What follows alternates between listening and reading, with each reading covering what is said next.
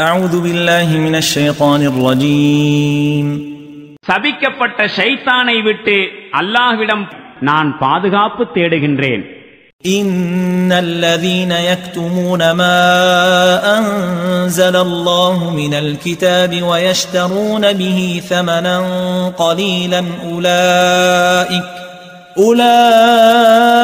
ما يأكلون في بطونهم إلا النار ولا يكلمهم الله يوم القيامة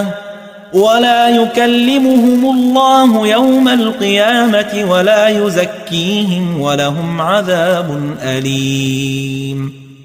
அல்லாஹ் தன்னுடைய வேதத்தில் இறக்கியருடைய சட்டங்களை எவர்கள் மறைக்கின்றார்களோ மேலும் இம்மையின் அற்ப லாபத்திற்காக அவற்றை விற்கின்றார்களோ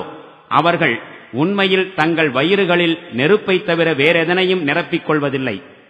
இன்னும் இறுதி தீர்ப்பு நாளில் அல்லாஹ் அவர்களிடம் பேசவும் மாட்டான் அவர்களை தூய்மைப்படுத்தவும் மாட்டான் மேலும் அவர்களுக்கு துன்புறுத்தும் தண்டனையும் உண்டு أولئك الذين اشتروا الضلالة بالهدى والعذاب بالمغفرة فما أصبرهم على النار இவர்கள்தாம் நேர்வழிக்கு பதிலாக வழிகேட்டையும் மன்னிப்புக்கு பதிலாக தண்டனையையும் விலைக்கு வாங்கிக் கொண்டவர்கள்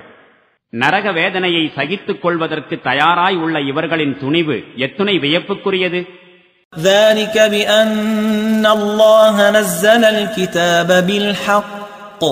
وإن الذين اختلفوا في الكتاب لفي شقاق بعيد இதற்கு காரணம் நிச்சயமாக அல்லாஹ் முழுக்க முழுக்க சத்தியத்துடனேயே வேதத்தை இறக்கியிருந்தும் வேதத்தில் கருத்து வேறுபாடு கொண்டவர்கள் தம் பிணக்குகளில் மூழ்கி சத்தியத்தை விட்டு வெகு தூரம் சென்று விட்டதுதான்.